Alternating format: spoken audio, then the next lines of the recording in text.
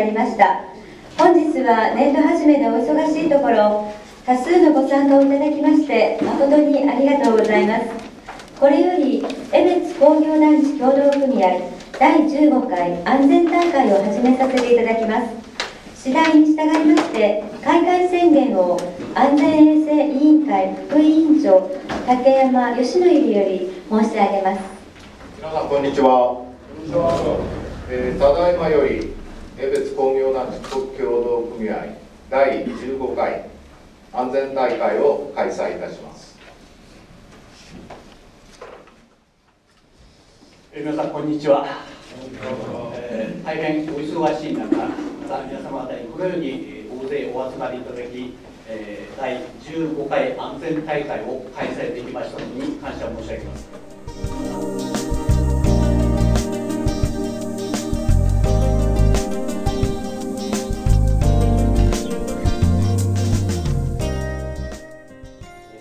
じゃあですね当社のあの安全衛生管理体制一体どんなことをやってるかということをですね2ページ目に、えー書いてございます、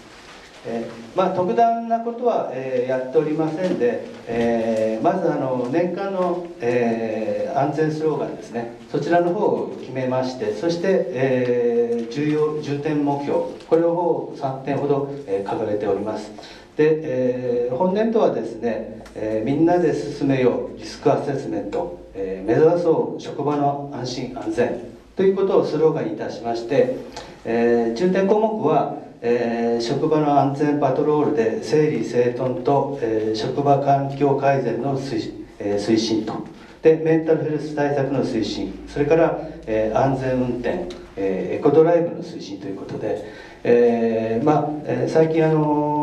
特にあのメンタルヘルス面とか、えーいろいろ言われておりますのでまずそれにはあの職場環境、えー整理整頓がまず、えー先に来るのではということで、えーまあ、今社内ではあの安全パトロールというものを、えー月1回ですけれども、えー町長の方が、えー集まって行っております。入れた、えー KY こちらの方が主流になってきております。その辺をですね、えーこあの、えっと5ページ目にですねちょっと実施心のストレスっていうところから入っていきたいと思います。えー、とでは 心ってどこにあるでしょう？心って何でしょうっていうところから始まりたいと思うんですが、えー、と皆さんちょっとご自身の指で、えー、と指し示してください。自分の心はどこにありますか？体の中で。自分の心はどこにありますか？あらちょっと胸に手を当ててる方が見えたり。はい。えー、と日本人的には心っていうと多分心臓のところを指すと思うんですね。そうですよね。あの感情っていうところはなんとなく日本人はこうハート。さっきそれでハートの絵つけたんですがハートにあると思います。ただ感情を引き起こしたり、えー、といろんな気持ちを司っているのは脳なんですね。脳です。ででも日本人の、えー、とこう言葉の中で見るとやっぱり心っていう字がたくさん入ってくるのがあります。知識感情意志思惑資料気持ち心持ち思いやり情けあと心臓胸ってこれ甲子園とかに書いてあって心で引くと出てくるものなんですがもともと心っていう字は、えー、と生き物ですね。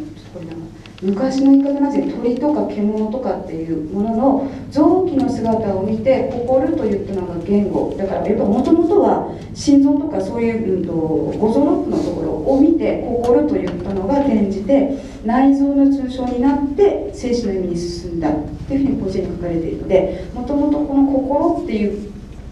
言葉を作った人はハートっていうところで作ったんだなというふうに言われています。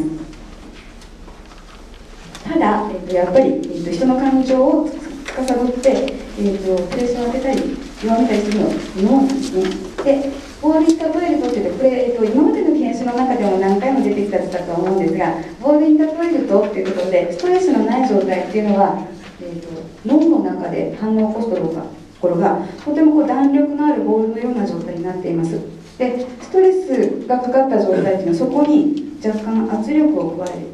とへこみます。で普通はその仕事の忙しさだったり人間関係だったり気温の変化だったりって些細なことが全部ストレスなんですがこれを加えることによってへこむんですけれど普通それが弱まると元に戻るっていう形になるんですけれどこのストレスが常時かかっていったりもともとのボールが少し弱い方はそれがへこんだまま戻らない。それがストレスがかかってきてかかってきてだんだんうつになっていくっていう状況の流れになっています。えそれは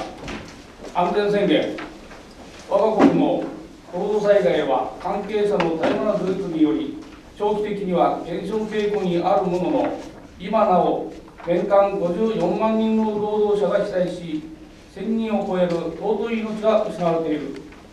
健康面においても一般健康診断の結果何らかの所見を有する労働者の割合は増加を続けており仕事や職場に関する強い不安悩みストレスを感じる労働者の割合は約6割に上り精神障害による労災認定件数が高い水準で推移している。いかなる時代にあっても働く人の安全と健康の確保は全てに優先する課題である。労働災害ゼロの職場の実現のため管理監督者安全衛生スタッフ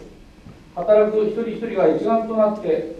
事業上における安全衛生活動の充実強化に最大限の努力を続けていかなければならない。具体的にはリスクアセスメント労働安全衛生マネジメントシステムの積極的な導入定着を図るとともに安全衛生教育や危険予知活動等現場における日常的な安全衛生活動を一層活発化しメンタルヘルス対策や過重労働による健康障害防止対策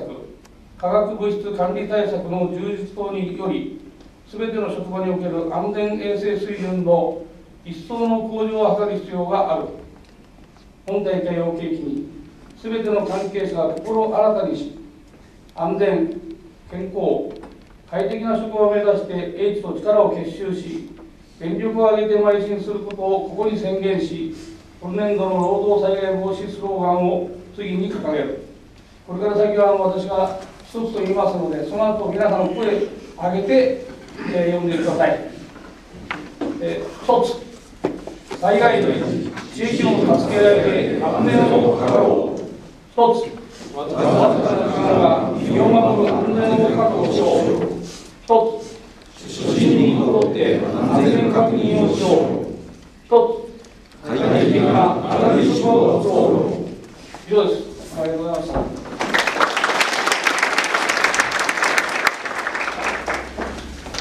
ただいまの安全宣言文にありました安全宣言の4つのスローガンの実施に努めることを皆様からの拍手をもって同意確認をいたしたいと思います。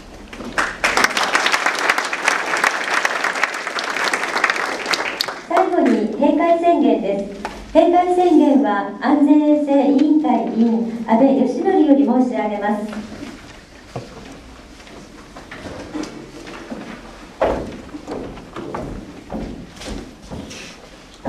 以上をもちまして第15回安全大会を終了いたします。どうもありがとうございました。